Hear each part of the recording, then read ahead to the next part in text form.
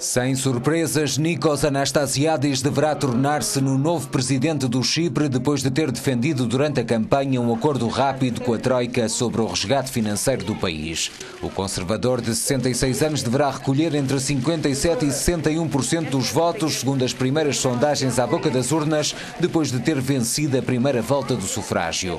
Anastasiadis afirmou já que apresentará 50 medidas para recuperar a credibilidade internacional do Chipre, entre as quais a luta contra contra a corrupção e o desemprego.